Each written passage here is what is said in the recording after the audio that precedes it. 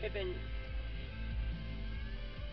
like seventeen dollars. Hmm. Okay. Oh, Heather's in trouble again. The cop pulled her over and he said pay for Okay, I have a phone GPS set for, uh, Home. yeah, I do. Oh, we gotta go straight back that way. Straight back down there and cross that one road. South toward Capitol Avenue Southwest. Go straight. Just go straight. Yep. And in this in take B Drive right onto 66. So we'll be on 66 in a minute. We'll be on 66 in a couple of minutes.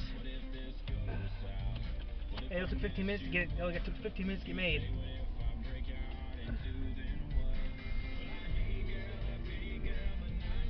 Yeah, they're talking to someone on the phone, right? Turn left onto Capitol Avenue Right, they're talking on the phone. Hello, hello. Damn phone died again. Turn left onto Capitol Avenue Southwest.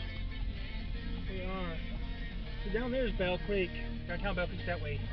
What is? downtown, the big city, Battle Creek. Never had Marcos before. Huh? Nothing. Talking to myself. Just go straight. That's it. Continue on Capitol Avenue Southwest for two miles. Then take B Drive to wherever. 320. Ooh, gas went down to 329. Here. Yeah.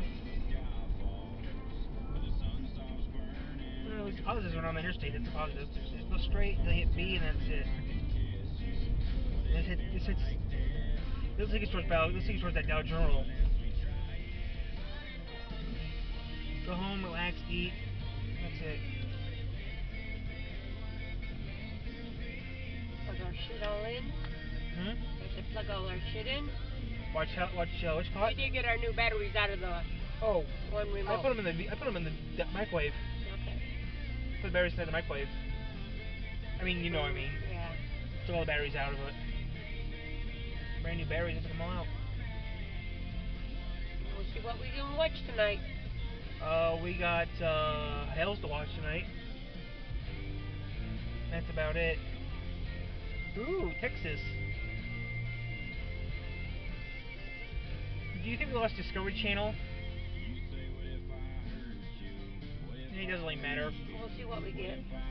Like I said, we'll have to. And if we have to, we'll, you know, we'll forfeit what we don't got. We, and we got all those movies still we can watch still too. Yeah. You We'll think- still get uh, movies on demand. Uh, to a point, maybe.